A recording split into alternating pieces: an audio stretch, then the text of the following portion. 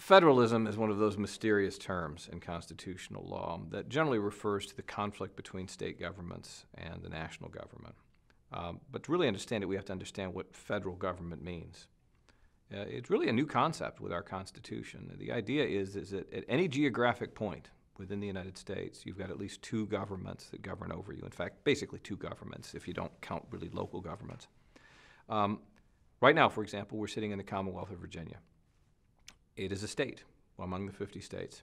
We're subject to all the laws of the state of Virginia, the Commonwealth of Virginia. And if we break them, then the Virginia State Police or maybe the local municipality, which is part of the state of Virginia, will, will come in and will, will enforce the law. Um, but simultaneously, at the exact same moment, un, you know, unavoidably, we're also in the United States of America, and we're subject to all the national laws. And if we break those laws, then maybe the feds will bust in here and arrest us. Uh, hope not, but it, it could happen. Now, clearly, when you've got two different sovereignties, when you've got a national government and a state government existing exactly the same physical space, governing exactly the same people at exactly the same moment, there's a potential for conflict. Generally speaking, the Constitution resolves this through Article 6's supremacy clause, which, generally speaking, says if there's a conflict between national and state law, the national law prevails. But there's still a lot of ambiguity there. I mean, in fact, there's a whole body of law trying to figure out when such a conflict actually exists and when it doesn't exist and it, can it be avoided and all the rest of it. The first thing that is important to understand about the Constitution is that federal law is supreme. The Constitution contains a supremacy clause that basically says that the Constitution and all laws and treaties made under it are the supreme law of the land. And that means that states have to respect federal law. But that doesn't mean states have to embrace federal law. So often states are pushing the envelope. They're trying to see what they can do. And you see it most clearly, for example, in the area of abortion regulation, where states, many states want to have restrictive abortion laws, and they, those laws get tested in the federal courts for whether they comply uh, with federal law. You also see it in the immigration area. Arizona passed a, a, a, a comprehensive code about how uh, the police should interact with people they suspected of being illegally in the country, and the Supreme Court of the United States said that that conflicted with federal law, and therefore it was preempted, and the state could not enforce those laws. So when state and federal law come into conflict, federal law prevails. All state officers are required to follow the strictures of federal law, whether it's in their day-to-day um, interactions with people or whether it's in drafting legislation or making rules at the, at the local government level. So the federal law has to be respected. Um, but there is a great deal of room for state law. That is, states, first of all, can always give people more rights than what the federal government wants. So if the state wants to interpret its own First Amendment to be more protective of speech than the federal uh, First Amendment, it can do that. If it wants to put more restrictions on police in terms of the right to privacy, uh, it can do that. And in terms of the Fourth Amendment. Each state has its own analog to the Fourth Amendment, and some states interpret that to be exactly the same as the federal government's. Some states uh, interpret it to be more restrictive. What states can't do is be less restrictive, because if the states are less restrictive, it would violate people's federal constitutional rights. All of this was by design, although a lot of it was also based on the facts on the ground as James Madison encountered them. The simple fact was the states pre-existed the national union.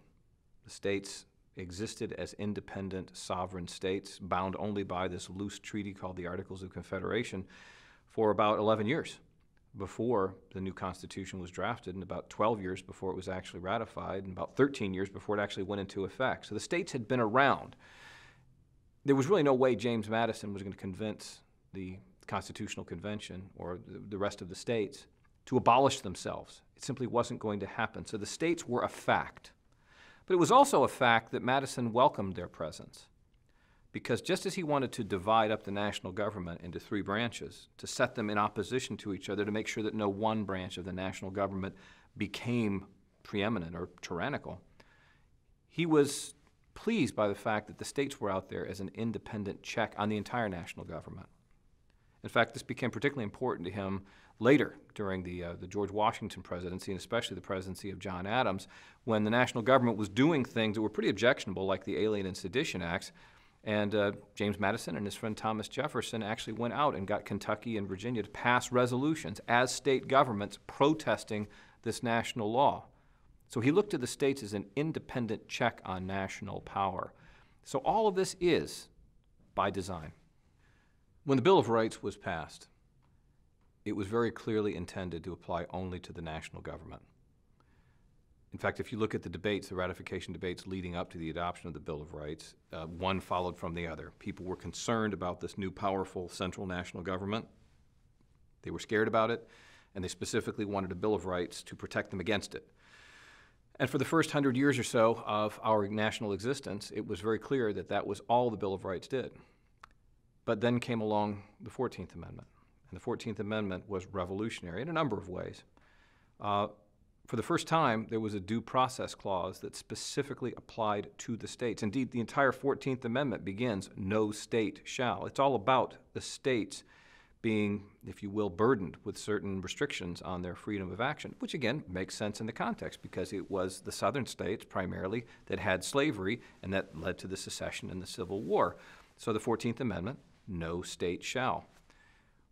Well, this due process clause that was included in the 14th Amendment, one of those phrases that's majestic but somewhat ambiguous, uh, has been interpreted, among other things, to incorporate the original Bill of Rights as against the states. That's the magic phrase. What this means is that bit by bit, starting after the Civil War and continuing on to the present day, quite recently actually in the Heller case in 2008, individual provisions of the Bill of Rights will be applied to state governments as well as the national government.